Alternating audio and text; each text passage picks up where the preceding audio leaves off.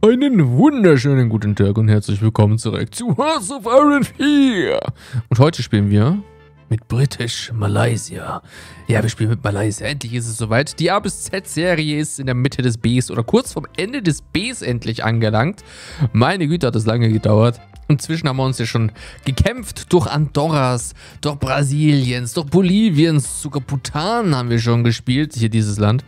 Und ja, Britisch-Malaysia steht heute an und ich glaube, das wird eine ganz andere Nation als alles, was wir bislang gespielt haben.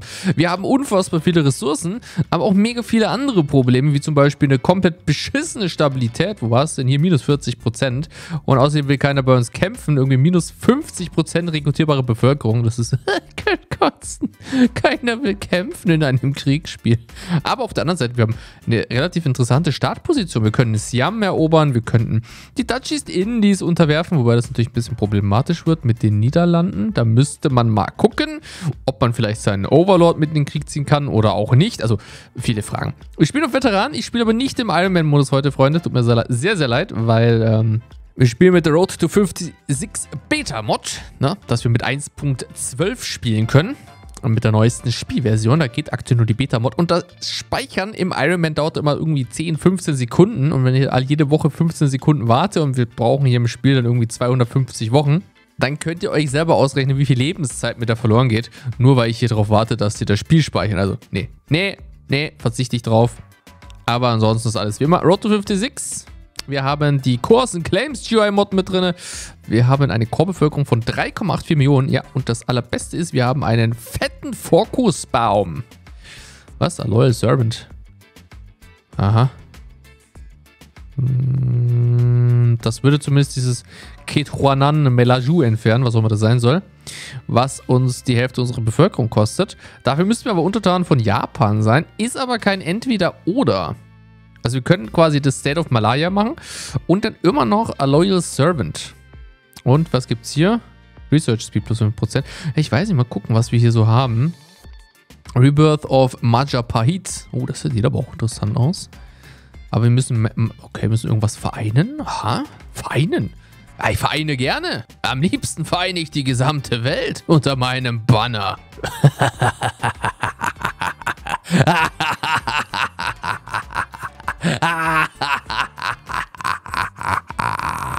Aber darum soll es heute nicht gehen. Wir beginnen mit State of Malaya und dann gucken wir mal. Mining in Malaya, das klingt doch hier gut. Reform de Talasukrasi. Aha. Ah, das ist das große Empire. Da brauchen wir folgende Staaten hier schön auch ein bisschen. Naja, das ist eh meins. Schau mal, das können wir eh machen. Also das, das kriegen wir hin. Die Dutchies Indies mag eh keiner.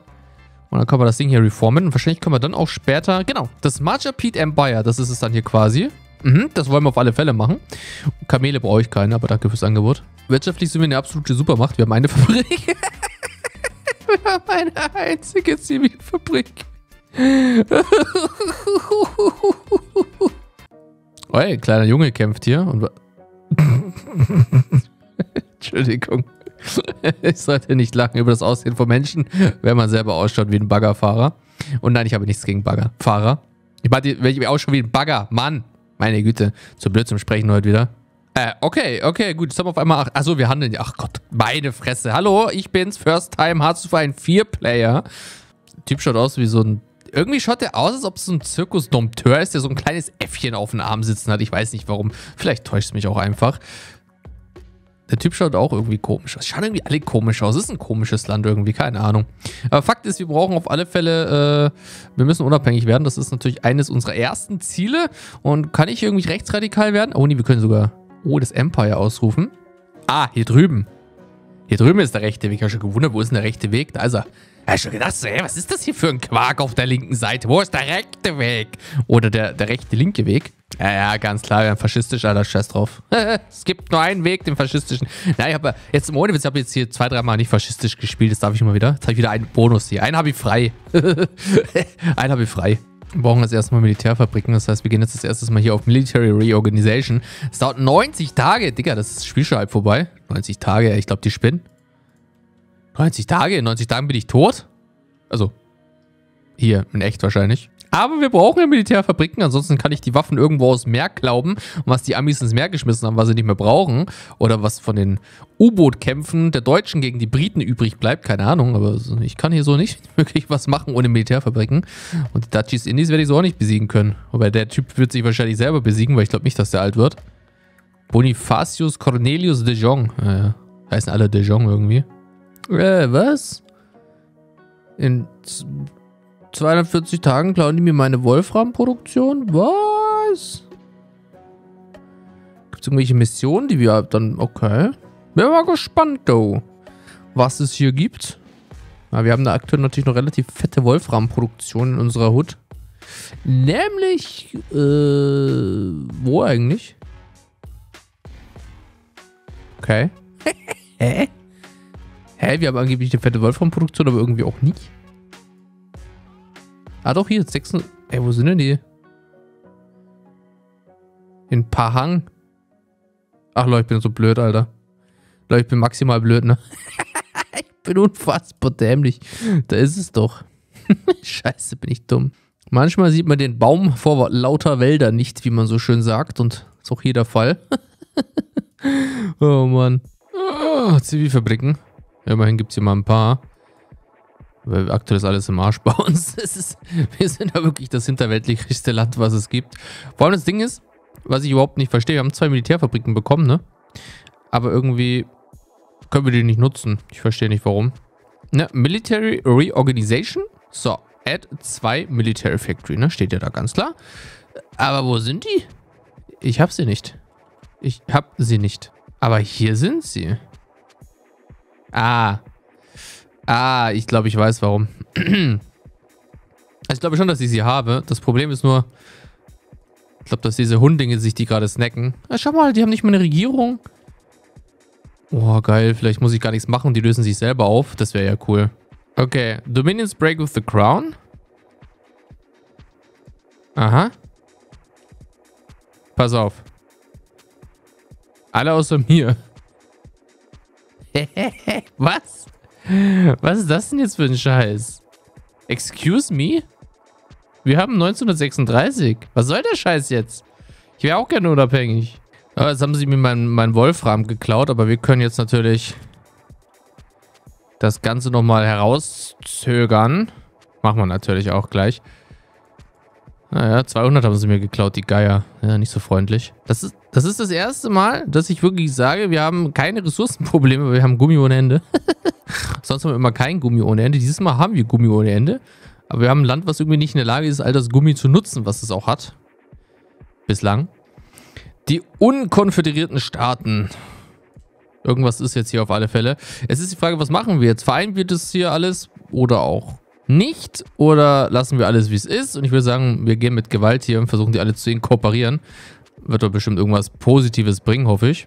Hier sehen wir übrigens auch das Problem, was wir aktuell haben. Wir geben 75% unserer militärischen Industrie an unseren Overlord und 25% unserer Zivilindustrie. Das heißt eigentlich, gefühlt alles geht an unseren Overlord. Deswegen sind wir aktuell komplett im Arsch, aber wir arbeiten dran, um das zu ändern, meine Freunde. So, jetzt haben wir noch irgendeinen Rat der Prinzen. Äh, wieder ihr gebt mir hart auf den Sack mit eurer scheiß politischen Macht, ne? Aber wir kriegen 10% War Support. Deswegen, ah, so leid es mir und auch tut und so schwer es mir auffällt. Wir nehmen es und pushen jetzt hier in dem Fall. Weiß ich nicht, was machen wir denn jetzt hier in dem Fall? Gucken wir uns erstmal diese Investoren an. Oder wir gehen auf Faschismus direkt. Faschismus ist auch, er geht erstmal Faschismus, scheiß drauf.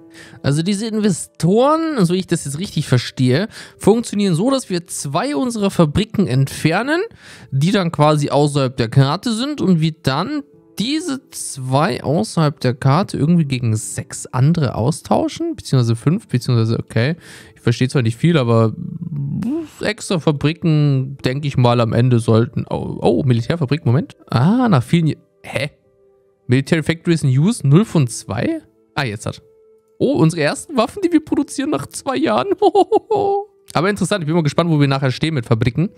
Ähm, an sich, wie gesagt, wir haben ja super Handel und wir müssen halt nur die Briten irgendwie loswerden. Aber wir haben jetzt vier, ne, elf Off-Map-Factory, Fa Factories, genau, Factories, aber irgendwie sind die dann gleich wieder weg. Die klauen uns die wieder. Hä? Also wir haben die jetzt quasi nur für zwei Monate, diese ganzen Fabriken, dann sind sie wieder weg. Toll, hätten sie auch sparen können. Übrigens mal wieder die Zeit der Bürgerkriege. Sowjetunion, Spanien, Chile, Mexiko, Großbritannien ja eigentlich auch mit all seinen Kolonien. Die haben ja nur noch mich als dummes Scheißland, weil ich irgendwie zu blöd bin, meine Unabhängigkeit zu erklären. Das ist eigentlich auch streng genommen Bürgerkrieg, weil die sich abgespalten haben, aber darüber rede ich jetzt hier nicht. Ach, nach all der Zeit. Blub. Sind wir ganz... Oh, geile Flagge. Was ist das denn? Wie schaut der denn aus? Der schaut ja fast so scheiße aus wie ich. Da bin ich jetzt wenigstens unabhängig? Nee, immer noch nicht. Jetzt bin ich Reichsprotektorat. Digga, was für Reichsprotektorat, Alter. Ist das britische Reich oder was? Ah, helft mir doch mal einer jetzt, Mann. Und wieder einmal sind es die Italiener, die den Zweiten Weltkrieg über den Zaun brechen, nicht die Deutschen. Die Deutschen haben sich zwar schon die Österreicher gesnackt, aber Italien ist mal wieder die Nation, die sich jetzt mit Jugoslawien, Rumänien, der Tschechoslowakei und Frankreich anlegt. Ah ja, und wie immer wird Italien auf die Fresse bekommen. Hä? Bürgerkrieg, der Klassiker. Passiert immer und sorgt dann automatisch dafür, dass äh, der Typ, Kollege Mausolini, jetzt wahrscheinlich auf die Fresse bekommt. Nicht gut für ihn. Ah, der amerikanische Bürgerkrieg. Ah, ich liebe ihn, er ist so wunderschön. Ach, er ist... Oha. Digga, übertreib halt nicht. Haben die sich direkt das halbe Land gesnackt? Habt ihr gesehen? Blob, auf einmal war alles grau. Ei, ei, gerade festgestellt, dass wir zwar in der Lage sind, muss man sich mal überlegen, wir sind in der Lage, rein theoretisch Flugzeugträger zu bauen. Wir können Flugzeugträger bauen, aber was Züge sind, davon haben wir noch nichts gehört. Ne? Alles klar, gut, verstehe ich, verstehe ich voll und ganz. Also eigentlich sind wir jetzt an dem Punkt angelangt, wir werden jetzt hier Pressure the Settlements machen, das dauert drei Tage. Dann sollte hier folgendes passieren, dass wir eigentlich unabhängig werden müssten. Wir haben die 50% plus für die Panionic-Idioten und alles andere ist quasi auch angerichtet, aber es passiert dann folgendes sobald es jetzt fertig ist. Ja, Italien ist Geschichte. Ah, jetzt hat es funktioniert. Okay, gut. Gerade ist das Spiel abgestürzt. Und eigentlich sind wir... Jawohl.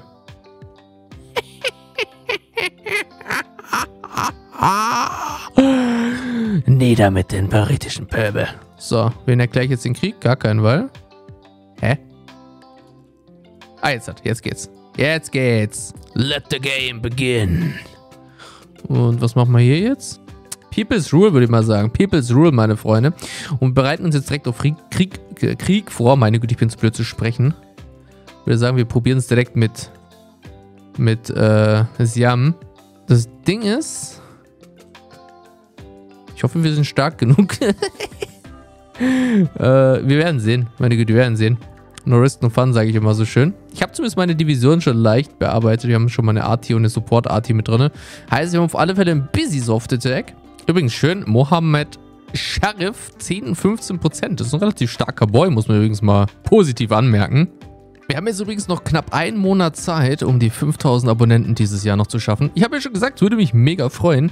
Und ich werde dann auch extra dafür zu feiern eine neue Serie starten, in der wir mit jeder Nation der Erde versuchen, alleine die Welt zu erobern. Das wird bestimmt total unterhaltsam, spannend und lustig. Und wenn ihr da Bock drauf habt, genauso wie auf all die anderen schönen Projekte in House of 4, dann nicht vergessen, keine Krabben essen und den Kanal abonnieren.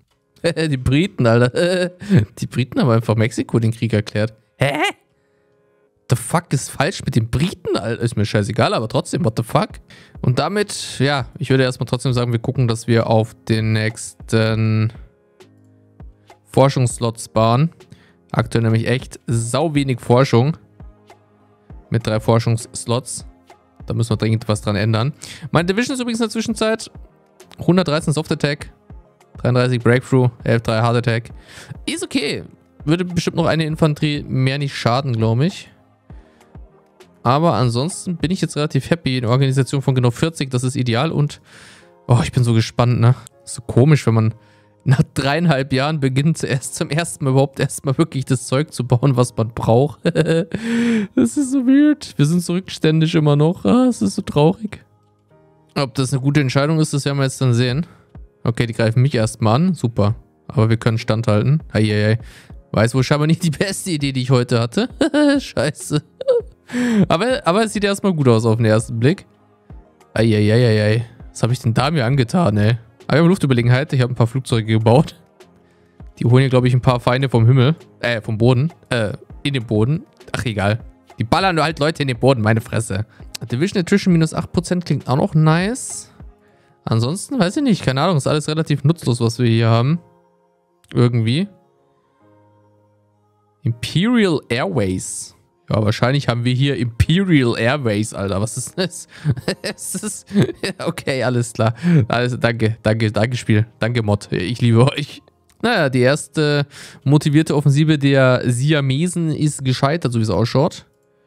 Und ich denke mal, wir können langfristig die Gegenoffensive vorbereiten. Leider haben wir doch einiges an Erfahrung verloren. Na, nicht so toll. Wir waren alle auf Level 3, hat ein bisschen drunter gelitten unter der Offensive der Siamesen. Oh, was? Was, was, was, was? Deutschland hat den nationalen... Rep was? Dicke, die waren einfach faschistisch, ihr Vollidioten, Alter. Du Trottel. Lebensraum im Osten, ja, aber man hätte die doch auch verbünden können. Naja, here, here we go. Okay. Okay.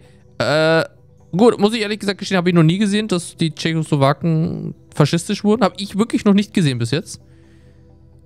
Ah, die sind... Ah, okay, ich nehme es zurück. Das ist einfach nur ein Puppet von Deutschland. Ah, okay. Dann, dann ist okay. Dann ist normal, ja. Ich dachte, dass sie vom Spiel aus faschistisch geworden sind.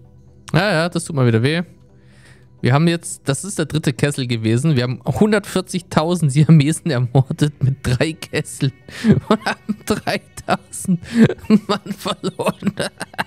Das ist eine KD von 1 zu 50 oder 1 zu 45. Alter, das schaffe ich ja selbst zu meinen Prime Deutschland-Zeiten nicht. Muss aber auch dazu sagen, dass die siamesischen Divisionen echt enorm schwach waren. Die hatten nur Infanterie. Die hatten keinerlei Artillerie oder ähnliches. Das waren einfach nur ganz bumsbillige Standardeinheiten. Bauern aus ihren Feldern gezogen, mit Maiskolben bewaffnet in die Schlacht geschickt gegen unsere überlegenen Einheiten. Hatten niemals eine Chance. Und jetzt singen unsere Einheiten One Night in Bangkok. Ein wunderschönes Lied. Passend hier auch. Ich weiß gar nicht, von wann ist das Lied überhaupt? 1984. Naja, passt doch fast. Ich meine, immerhin die ersten zwei Ziffern stimmen schon mal. Finde es auch immer total süß, wie jedes Mal die Portugiesen versuchen, den Spaniern den Krieg zu erklären. Es klappt aber nie so wirklich. Und auch dieses Mal wird es nicht klappen. Aber man Portugal probiert es ja jedes Mal. Ne? Man kann ja nicht sagen, sie würden es nicht probieren. also unsere Spione sagen, dass Burma ein absolut nutzloses, schwaches und ressourcenreiches, geiles, kleines Land ist, was nur darauf wartet, von meinen Einheiten zerfegt zu werden. Und ich sag mal so viel, was zur Hölle soll schon schief gehen? Ja, die haben ein Drittel unserer Manpower. Also ich erwarte hier einen deutlichen Sieg, einen einfachen, einen schnellen Sieg. Da unten ist ein Großteil der feindlichen Armee schon eingekreist. Sehr gut. Ja, das soll... Okay, nee, also Burma ist gar keine Bedrohung. Hervorragend. Man muss nur die Initiative ergreifen und schon kann man die halbe Welt vereinen. Die haben nicht mal Einheiten, die ihre, ihre Hauptstadt verteidigen. Geht mal schneller rein. Nach Rangoon. War es das jetzt? Nee, noch nicht ganz. Mandala ist noch da. Übrigens total abgefuckt gerade. Ich habe festgestellt, ich kann hier überhaupt nichts mehr weitermachen. Wir sind hier durch. Wir können nicht das machen, wir können nicht das machen, können gar nichts machen aktuell, weil ich hätte für die beiden, hätte ich das oder das machen müssen, dass ich das hier machen kann und für das wären wir Kommunisten und das hätten wir Demokraten sein müssen. Das heißt de facto, das ist komplett nutzlos. Das ist, kannst du eigentlich löschen. Das kannst du wegmachen. Das langweilt mich gerade ein bisschen, aber naja, einfache Kampagnen waren ja noch nie mein Ding, ne? Hervorragend. Und das Gute ist, ich habe mir die Course and Claims Mod installiert. Das bedeutet, wir können diese Gebiete später claimen. Das Pup, was? 386 wollen die von mir okay, ich dauere noch eine Weile, bis wir das claimen können. Ah, aber das wird unsere Manpower-Probleme für alle Zeiten lösen. Also wir haben jetzt hier einen relativ interessanten Krieg tatsächlich. Deutschland und France gegen Norwegen, Britannien und Frankreich. Mal gucken, wie sich das noch weiterentwickelt. Bulgarien ist jetzt Minion von Rumänien. Rumänien selber ist ja auch noch irgendwie... Ach, das ist alles so confusing gerade. Und das Deutsche Reich unter Kollege... Also eigentlich hat Deutschland die besten Voraussetzungen jetzt gehabt. Aber die Deutschland-KI ist irgendwie zu blöd zum Kacken oder so. Keine Ahnung. Jedenfalls kriegen die hart auf die Fresse gerade. Und ich weiß nicht warum. Oh, jawohl. Jetzt auch noch gegen die Niederlande. Ach du Scheiße. Die Niederlande hat kapituliert. Das ist jetzt mein Zeitpunkt, wo ich eigentlich reagieren kann und muss. Huch nicht so blöd wäre. Und zwar werden wir jetzt hier unsere Offensiven starten. Naval Invasion. Wir werden jetzt im Krieg sein mit diesen anderen Bums da. Aber mal gucken, ob das klappt. Keine feindliche Flotte vorhanden. Das heißt, wir kommen auch hier problemlos rüber. Bin mal gespannt hier. Und wir treten tatsächlich den Deutschen bei. Ist ja keine Solo-Challenge, das dürfen wir ja. Und können wir bitte darüber reden, wie hervorragend ausgeführt mein Manöver war? Never Invasions in mehreren Kerngebieten der Dutch East Indies. Hauptinseln werden hier problemlos eingenommen. Unsere Truppen überrumpeln den Feind durch strategisch taktische Meisterleistungen. Dafür bitte einmal einen Daumen nach oben, würde mich sehr freuen und mein Ego pushen. Habe übrigens die ganze Zeit Singapur unverteidigt gelassen. Hätte diese ein... Oh, oh, oh, oh, fuck. Oh, shit. Äh, äh, äh, äh, Moment. Äh... Upsi, upsi. Das wäre jetzt fast... Das geht, könnte immer noch in die Hose gehen. Oh, es geht komplett in die Hose. Oh, fuck. Oh, shit. Ich hoffe, dass wir jetzt nicht...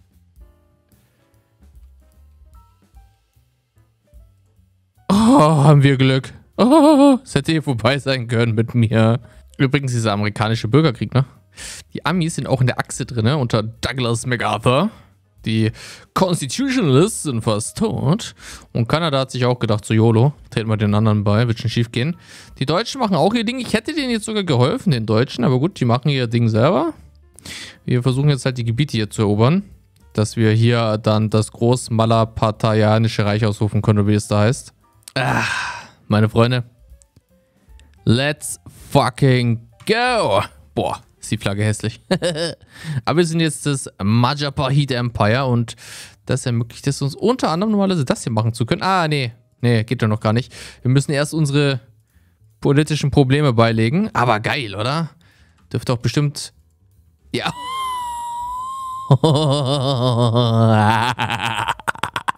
Klar, die Deutschen wollen gleich wieder Manpower haben. Okay, pass, ich kriege 500.000 Mann, um euch zu helfen. Ich bin ja eine freudige Krabbe, ich helfe ja gerne. Und das Gute daran ist, es ist immer relativ lustig, wir haben jetzt hier überall Core-Gebiete drauf, ohne dass der Krieg überhaupt vorbei ist. Das ist alles unser. Alles unser. Ganz legitim. Die Philippinen sind eh schon mit all unseren Freunden im Krieg, deswegen bleibt auch mir nichts anderes übrig. Und wie wir sehen, fehlt uns noch ein Huch. Ein Huch fehlt uns noch, eine Seeregion, aber das kriegen wir hin. Blub. Und dann können wir hier zeitgleich wieder die nächste große Naval Invasion starten. Weil ich jetzt sagen muss, der Kriegsbeitritt der Franzosen, der kommt jetzt ein bisschen nervig. Scheiße. Äh, ja gut, dann verpissen wir uns einfach mal in der defensive Linie, weil die werden uns jetzt hier eh überrumpeln. Ärgerlicherweise. Ich weiß übrigens nicht, aber ich glaube, ich bin mit meiner Seeüberlegenheit hier sehr zufrieden. Könnte auch damit zusammenhängen, dass hier kein einziges feindliches Schiff umherfährt und, naja, wir relativ viele Verbündete hier haben. Die Philippinen sind auch gefallen, das heißt, wir gönnen uns jetzt voll und ganz auf Warum haben die meine Gebiete bekommen? Sogar Core die haben einfach meine Gebiete geklaut, diese dreckigen Ratten. Na, jedenfalls müssen wir jetzt erstmal die Franzosen kalt machen und dann den Deutschen helfen, weil die Deutschen kriegen auch auf die Fresse. Also, oh, es ist hier alles Katastrophe. Klar, ja, die Deutschen wollen noch mehr Manpower. Ich meine, schon klar, dass die ganze Zeit wieder extra Manpower brauchen, wenn die die ganze Zeit ihre Truppen verheizen gegen die Baguettes. Warum, warum die so blöd sind. Ha, die Türkei ist auch der Achse beigetreten. Der Wendepunkt in diesem verlorenen Krieg? Vielleicht. Vielleicht aber auch nicht, man weiß es nicht. Ich hoffe, dass Deutschland lang genug standhält. Das ist meine Sorge. Sogar Dänemark ist mit in dem Bündnis drin. Wie kann man denn so reinscheißen, Mann, Adi? Wenigstens die Amis machen ihren Job halbwegs fähig. Mit seinen 55 Divisionen. Ist eigentlich auch nicht so stark, aber er macht seinen Job immerhin. Immerhin haben sie hier kaum Truppen in, in China. Das bedeutet für uns, jetzt wo unsere Armee auch hier ist, wobei sie immer noch nicht so stark ist. Wir haben jetzt aktuell wie viel Mann im Feld? 340.000. Aber immerhin die reichen, um hier das Problem zu lösen. Ja, mit dem Beitritt der Türkei ist Griechenland jetzt relativ schnell Geschichte gewesen. Aber trotz allem, Frankreich hält immer noch tapfer die Stellung. Aber es sieht nicht mehr ganz so gut aus wie früher. Alter, 10% Ressourceneffizienz? Lala. Relativ starken Shit, den es hier gibt, Alter. Krass. Das wiedergeborene Majaparit oder wie das Ding hier heißt. Wie heißt denn überhaupt? Meine Güte, geh mal weg jetzt. Majapahit Empire. Ja, ja, stärker denn je, meine Freunde. Tja, und jetzt hat Frankreich doch noch kapituliert. Gerade eben, als ich mich dem Problem annehmen wollte. Hm, naja. Okay, Deutschland ist jetzt im Krieg mit Japanese Russia. Okay. Ich äh, verstehe eh nicht genau, warum schon wieder Japanese Russia. Problem an der Geschichte ist nur, dass... Ah, okay. Ja, dass keine direkte Front existiert. Das ist das Problem. Damit sind wir jetzt automatisch auch im Krieg mit Japan. Das Problem ist nur, wir müssen uns erstmal auf Küstenverteidigung konzentrieren. Da wir keine Einheiten haben, um eine eigene Offensive zu starten gegen Japan aktuell. Leider. Klar, ich gehe da... Ey, komm, ihr seid solche Wichser. Ich komme zu eurer Unterstützung. Was machen die? Gehen einfach ohne mich schon los. Toll. Und ich kriege die ganze Zeit durch die Japaner auf die Fresse. Das ist asozial von euch, Deutschland, echt. Wie sie sich meine Gebiete geiern wollen, Alter. Das ist meins. Verpisst euch alle. Ich habe das rechtmäßig erobert. Ich glaube, die spinnen. Ja, komm. Wer ist denn das? Scheiß Deutschen. Hör mal, die Deutschen. Die meine Gebiete haben wollen. Ach, komm. Wenigstens haben sie eingesehen, dass es meins ist. Was gibt es jetzt noch irgendwas, wo man hier... Ich meine, mich interessiert das Zeug hier oben gar nicht. Das können sie eigentlich alles für sich selber behalten. Ich bin fertig hier.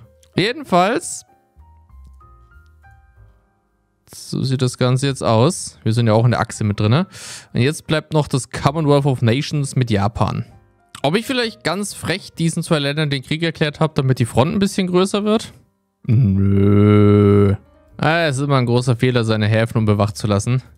Und Japan ist scheinbar Großmeister darin, seine Häfen unbewacht zu lassen. Und Truppen haben es auch nicht wirklich viele, die Idioten.